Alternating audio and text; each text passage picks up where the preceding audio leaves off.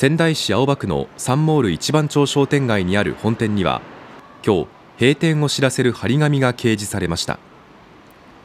金光堂によりますと老朽化などを理由に本店ビルを取り壊すことになり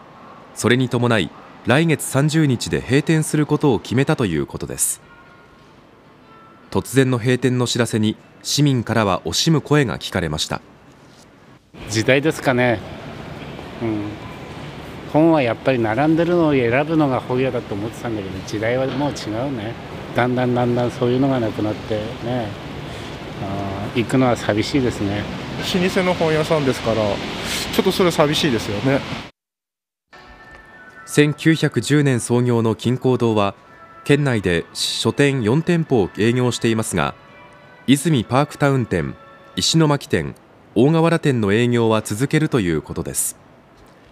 本店閉店にあたり金光堂はお客様には感謝の思いでいっぱいですなどとコメントしています。